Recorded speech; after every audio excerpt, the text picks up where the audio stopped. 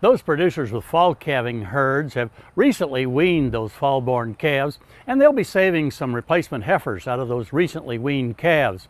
Those replacement heifers are going to have to grow enough to go into a breeding season, say in, in late November, perhaps early December.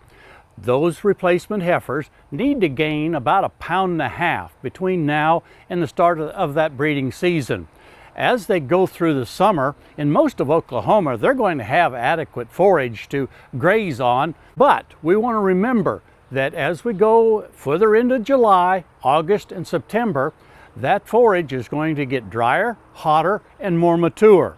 And it's going to lose some of its protein content. These young cattle will need just a little bit of additional protein in order to best utilize that standing forage that's available to them that's where a good supplementation program for these young replacement heifers can really be beneficial. You know, for years we've talked about the Oklahoma Gold program for stocker cattle in late summer grazing here in this, in this state. Well, it works the same way for those replacement heifers that we're going to breed next fall. Putting together a package with a small amount of a high protein supplement will help those young heifers and, and the microbes in their rumen to digest that more mature forage as we go into the late summer, early fall months. What I'm talking about is feeding someplace around one to two pounds of a 38 to say 45% crude protein supplement.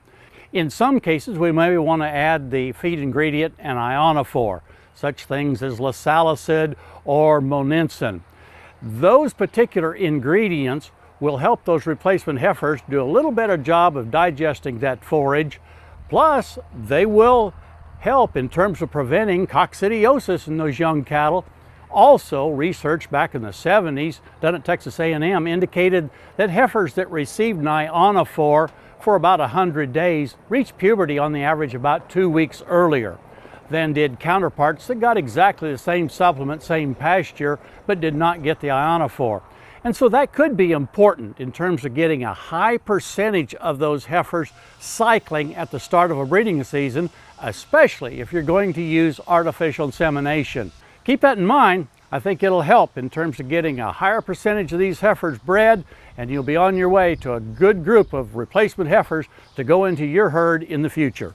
Hey, we look forward to visiting with you again next week on Sunup's Cow Calf Corner.